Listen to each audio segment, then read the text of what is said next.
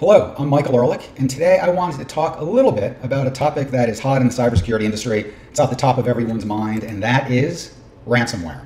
Uh, I thought I would spend a few minutes to give you my personal perspective and, and to describe what IronNet can do to mitigate the risk that ransomware poses to an organization. So first of all, let's dispel some myths, right? Ransomware does, just doesn't show up one day out of nowhere. It's not like your computer lives in isolation and then one day, all of a sudden it's ransomed. That may look like what happens to you, but in actuality, there are a series of steps that happen that allow your adversary access to that computer, download the malware, and launch their ransomware. So this is not really how your computer exists in the real world. This is a slightly better depiction, right? Your computer, your enterprise, sits behind a number of cybersecurity controls here represented by that firewall or brick wall and they are connected to the world via the cloud, the internet as we know it. And somewhere in the cloud lives your adversary. That's the little green guy up there. And he's got this big red encrypt button that he wants to launch and encrypt your contents on your computer and charge you money for you to have the ability to decrypt that. Before he can do any of that, he first has to get initial access, right? Depending on your security controls, that may be easy or it may be difficult for your adversary. Some techniques he could use, it might be a successful phishing attempt, right? A drive-by web download. He may be able to exploit a vulnerability in a public-facing asset that you own. Or he could even come in through your third-party supply chain, through your trusted connections. But the first thing he has to do as an adversary is somehow gain access to one of the assets in your enterprise.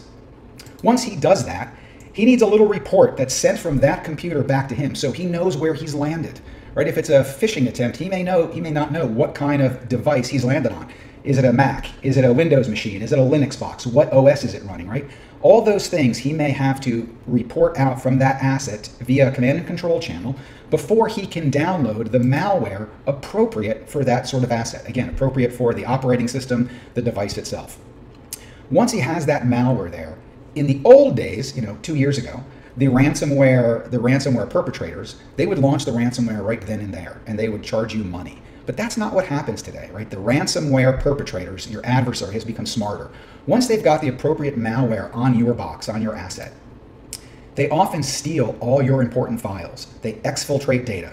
That may be your intellectual property. It may be a customer list. It may be a work product that you're working on, right?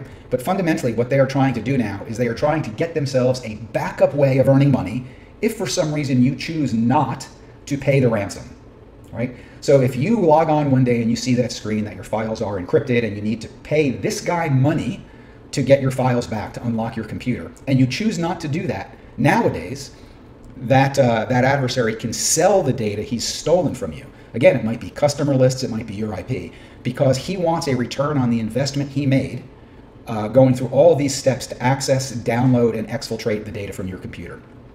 So this is a really simplistic version. If we take a step back, this would only yield a little bit of money, right? Ransoming one computer in a large enterprise is really not cost effective, right? These guys don't make that much money from doing it. So rather, before they ransom one computer, what they really do is once they get a really good foothold in your environment, they spread laterally. They move laterally and try to infest, infect, whatever the word you want to use is, right?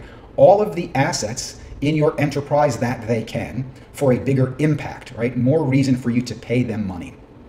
On each new asset that they are able to access, they also need to know what type of asset is that so that they can download the correct malware for that particular operating system. Or perhaps if they don't have an encryption capability on one operating system, they will just they will just not worry about that asset. Um, fun, then what they do is once they've got the appropriate malware, just like on the first box, they will exfiltrate all the data they can that they deem important, that they deem uh, important enough for you to pay for, even if you even if you choose not to uh, not to decrypt. So it's at this point, right? Once they've moved laterally through your environment, once they've downloaded malware to every one of your assets, and once they've taken, exfiltrated all the data that they can from those assets, it's at that point that they're actually going to push that button, launch the ransomware, and lock up your computers and demand payment.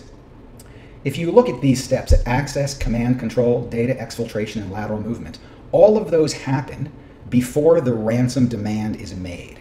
And in IronDefense, we can detect those breach steps before the ransom demand is made. We have analytics that look for initial access. They are listed up here, right? Whether it's credential phishing, suspicious file downloads, suspicious logins, password sprays, all the ways an adversary can gain access, we look for and we detect. Once they have access, we can detect the command and control, whether it's command and control beaconing out odd domains that they are coming from, using domain generation algorithms for command and control meetup, or even using encrypted communications. We have analytics that identify malicious uses of all of those things. And then they'll move on to data exfiltration, right? We look for PII data loss. We look for extreme data rates, unusual days, moving large amounts of data off a number of servers on the same day, right? These are all clues that you can find in your environment with IronDefense. And then lastly, we also have a suite of analytics that look for lateral movement. That adversary is not going to be content just sitting on one asset, on one computer, on one laptop and ransoming that, right? Your adversary wants to move throughout, throughout your enterprise and ransom as many as he possibly can. And so with these analytics, we are able to identify all the steps post breach and even pre breach a bit, pre and post breach, leading up to the final push of the encrypt button.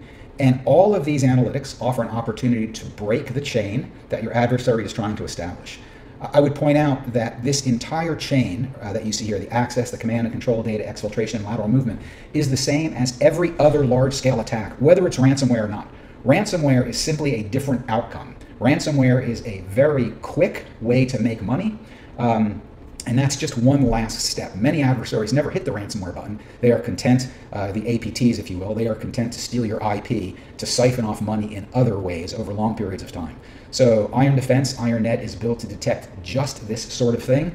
Um, and let's not let it get to the final ransom note as your first capability to detect. Thanks.